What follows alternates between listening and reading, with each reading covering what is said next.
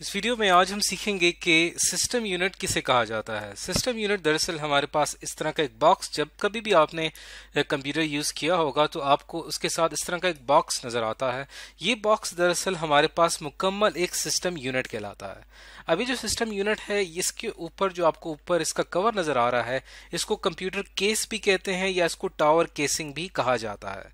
और इस, ये जो है टावर केसिंग या कंप्यूटर केस ये आमतौर पे जो है वो स्टील का बनाया जाता है ताकि जो है ये, इसके इंटरनल कंपोनेंट जो है वो काफ़ी महफूज रहें।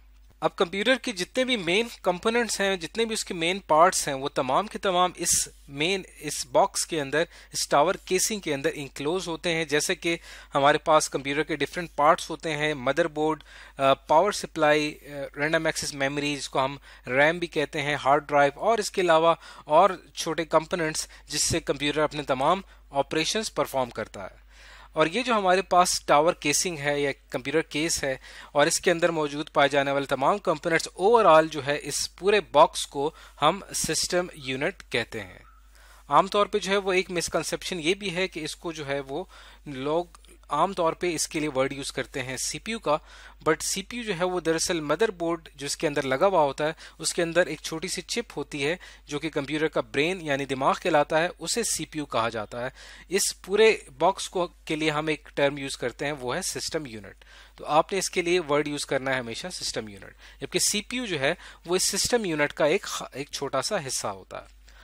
अब अगर हम इसके सिस्टम यूनिट के जो मेन पार्ट्स की अगर बात करें तो इसके अंदर ये चार मेन हिस्से होते हैं सिस्टम यूनिट के। एक जो कि मदरबोर्ड होता है, बिल्कुल सेंटर में, जिसको हमने यहाँ पे थोड़ा सा जूम करके आपको दिखाया हुआ है। अब ये जो मदरबोर्ड है, इस मदरबोर्ड के ऊपर बाकी तमाम कंपोनेंट्स लगे होते हैं, जैसे कि network card modem card video card और साउंड कार्ड ये मुख्तलिफ़ ऑपरेशन परफॉर्म करते हैं कंप्यूटर के लिए। मेमोरी जो है वो एक स्मॉल सी चिप होती है इस साइज़ की, जैसे कि आप देख सकते हैं, और ये भी लगा दी जाती है इस मदरबोर्ड पे। और जो मैं बात कर रहा था सीपीयू की, प्रोसेसर की, वो आपको यहाँ पे दिखाई दे रहा है कि ये छोटी सी चिप है जो कि इस मदरबोर्ड पे लगा दी जाती है।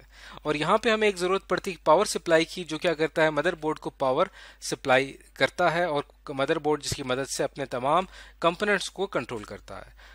तो मदरबोर्ड पावर सप्लाई केसिंग और इसके अंदर मुख्तलिफ़ ड्राइव बेस यानी डिफरेंट यहाँ पे पोर्ट्स हैं डिफरेंट यहाँ पे कंपोनेंट्स स्पेसेस हैं जहाँ से, जहाँ पे हम एक्सटर्नल डिवाइसेस कनेक्ट कर सकते हैं। जैसे कि आप देख सकते हैं, यहाँ पे जो ये वाला हिस्सा आपको नज़र आ रहा है। यहाँ पे हमारे पास डिफरेंट पोर्ट्स होती हैं और यहाँ पे हम एक्सटर्नल डिवाइसेस यानी कि माउस कीबोर्ड जो कि हमारी आईओ डिवाइसेस कहलाती हैं इनपुट आउटपुट डिवाइसेस कहलाती हैं, वो हम यहाँ से कनेक्ट कर सकते हैं। इसके अलावा अगर आपने इंटरनेट नेट से इसको कनेक्ट करना है तो यहाँ पे हमारे पास जो है वो पोर्ट होती है, जहाँ पे हम अपनी नेट वायर, यानी ईथर नेट वायर को हम यहाँ पे कनेक्ट करते हैं।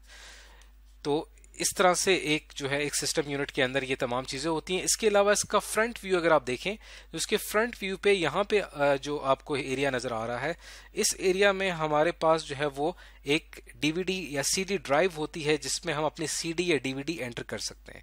इसके अलावा फ्रंट पे यहाँ पे मजीद कुछ पोर्ट्स होती हैं, जहाँ पे हम डायरेक्ट कोई एक्सटर्नल हार्ड डिस्क या कोई भी कोई भी ऐसी डिवाइस जो कि यूएसबी के साथ या यूएसबी यहाँ पे लग सकती है इन पोर्ट्स के ऊपर।